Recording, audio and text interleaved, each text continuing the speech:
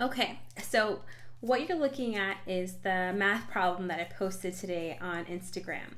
And good job to those of you that got the right answer. You did a really good job with that. But I wanted to do a video, one by request, and two because I really did see the struggle and the kind of cries for help that were happening to figure this out. So don't be swayed by these type of math questions because believe it or not, this is actually a regular desired over have times amount math equation. The only issue is that you see that this is a pretty wordy question and there's a lot of information in it. So it's really your job to decide what information you need to extract from this question to get to your answer. But it is the same dose over have or desired over have. I'll write it here, desired over have times amount. Um, most of the nursing calculation problems, dosages and calculations are that same desired over have times amount. Um, some are going to be a little bit different, but the majority of things that you're going to learn, they're going to be desired over have times amount. So let's look at this actual question to decide what it is we're looking at. So we know that we're given an order, right, for nitroprusside. The order is 5 mics per kilo per minute. And it's going to be via continuous infusion. We know that the patient weighs 205 pounds. And we know that what we have on hand is a solution of 200 milligrams and 250 mLs of D5W. So this is the information that we are going to extract from the question in order to solve it. Okay? So I'm going to come over here and I'm just going to write out what our important info is that we need to have to solve this problem. So here's our D, right? The desired or the dose. Um, and we know that our patient weighs 205 pounds. So I'm going to write that because that's important because this math problem is asking me to calculate it based on weight. And I know that what I have on hand is 200 milligrams in 250 mLs. So here is my have. This is what I have. This is what I'm ordered. So that's the desire or the dose. And this is my weight. So this is my bonus information. Well, what we're looking at here is this, let's start with this. So our actual desired, right? Five mics per kilo per minute. What this means is that for every kilogram the patient weighs, I need to give five mics every minute. So because this is in kilos, we need to convert the patient's weight. We need to make the pounds kilos. So how do we do that? To convert, we're going to do 205 divided by 2.2. And that's going to give us the weight in kilograms. So 205 divided by 2.2 is going to give you 93.18. We can round that to 93.2. And here's our weight in kilograms. So here's the information that we need. Now, if you were going from kilograms to pounds, instead of dividing by 2.2, you would multiply by 2.2. So now I have the kilograms, I'm in good shape, okay? So I can start to work on this problem now. So we're gonna come down here. So I know that I'm gonna get five mics for every kilo the patient weighs. We know the patient weighs 93.2 kilos. So I'm gonna multiply five by 93.2 and I'm going to get 466 micrograms. Okay? But that's not the end of my equation, right? So I got my mics, I did the kilos. Now for minutes, right? I know that I need to give 466 micrograms every minute. Well, we know that our final result, our final answer is going to be given in mLs per hour, right? So how many minutes are in an hour? So at this point, I need to do 466 times 60 because there are 60 minutes in an hour and I'm going to give my answer in mLs per hour, right? So 466 times 60 is going to give us 27 960 micrograms per hour. Okay?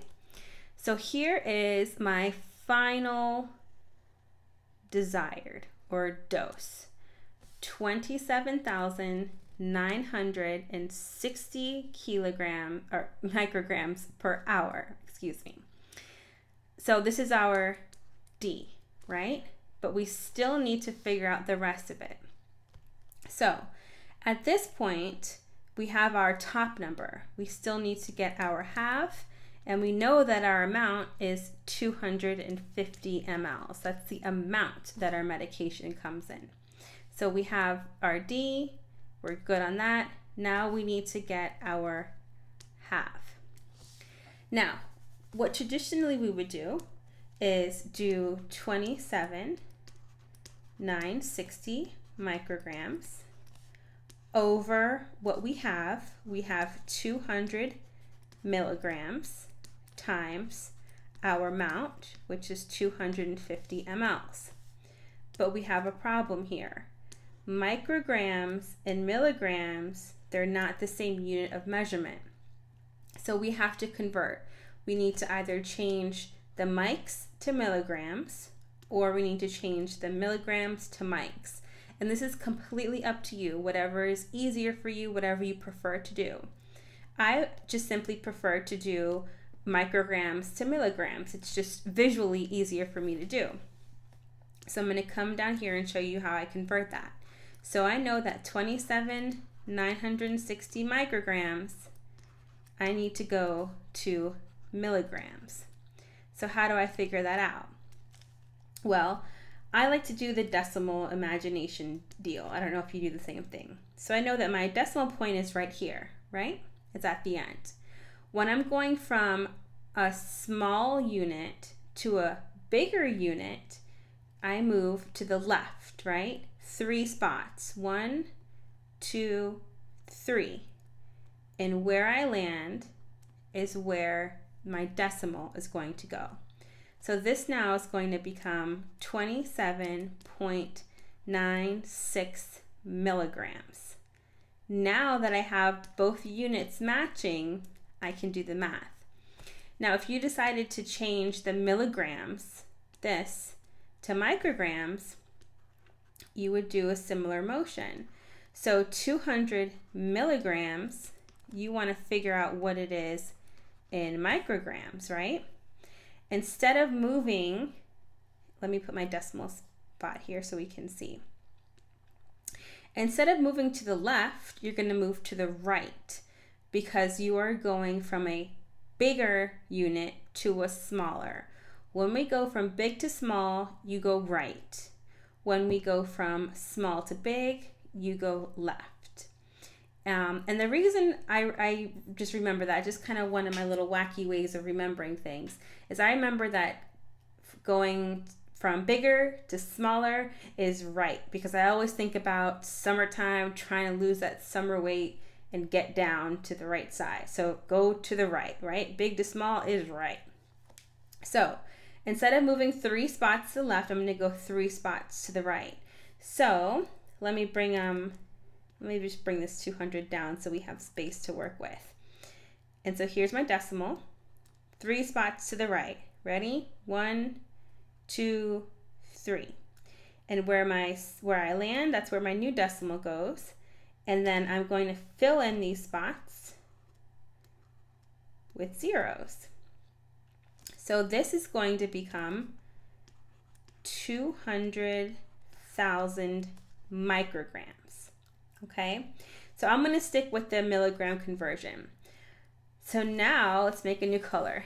My formula is going to be 27.96 milligrams over 200 milligrams times my volume or my amount, which is 200 mLs.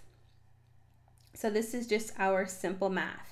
So we're going to do 27.96 divided by 200. And then we're going to multiply that right into 250. And we're going to get 34.95, which you can round to 35 mLs per hour. And that is how you solve this equation. Again, it's the same thing as doing a regular dose over have times amount or desired over have times amount, whichever way you remember it. The only difference is, is that we have to do a little bit of conversion. And you're going to definitely run into scenarios like this in school, on tests, in the NCLEX, and in practice. You're going to have to know to do conversion. So the actual um, extras that we needed to know was to how to one convert pounds to kilograms and two converting our micrograms or milligrams to match each other. Otherwise, it's a pretty straightforward type of calculation. So, if you have any questions on this, you know how to, to get to me, to reach me. You can get me on Instagram. Um, if you want me to do some more videos on math, if you need a little bit more clarification on dosages and calculations, I'm certainly happy to do that. Just let me know. So if you reach me on Instagram, it's tootrn, T O O T R N. Um, or you can reach me via direct email and you can get that information from my website, which is www.tootrn.com. So I hope this helped. Again, those of you that got the answer, kudos, good job. You were able to, you know, weed through all this extra word in the question and find what you needed. For those of you that need extra practice, definitely rewatch this video as much as you need to.